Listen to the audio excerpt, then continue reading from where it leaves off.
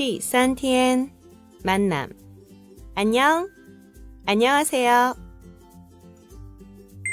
你好， 니하오 안녕 니 너, 당신 하오 안녕 니하오 중국에선 일반적으로 하오 앞에 상대방을 일컫는 말을 써서 인사 표현을 합니다.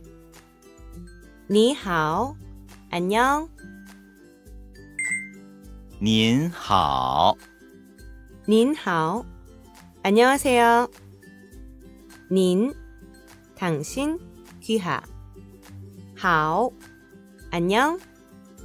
닌하오 닌은。 니의 높임말로 상대방이 나보다 손윗사람이거나 지위, 신분이 높은 경우에 주로 사용합니다. 您好 안녕하세요. 안녕 你好 안녕하세요. 您好 단어를 교체해서 다양한 문장을 말해볼까요? word change 안녕하세요.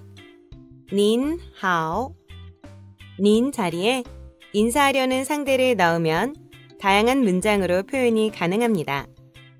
다섯 가지 단어를 교체해볼까요?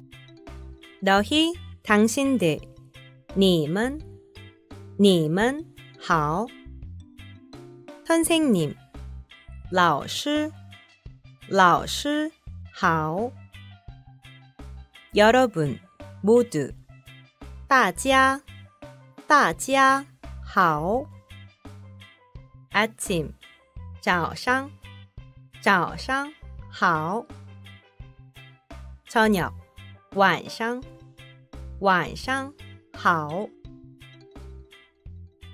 그럼 이제 신나는 리듬 러닝으로 고고고! 안녕, 你好， 안녕하세요, 您好, 너희 안녕, 你们好, 선생님 안녕하세요, 老师好, 안녕, 你好, 여러분 안녕, 大家好, 아침에 하는 인사 안녕, 早上好, 저녁에 하는 인사 안녕, 晚上好. 여러분, 아름다운 밤이에요.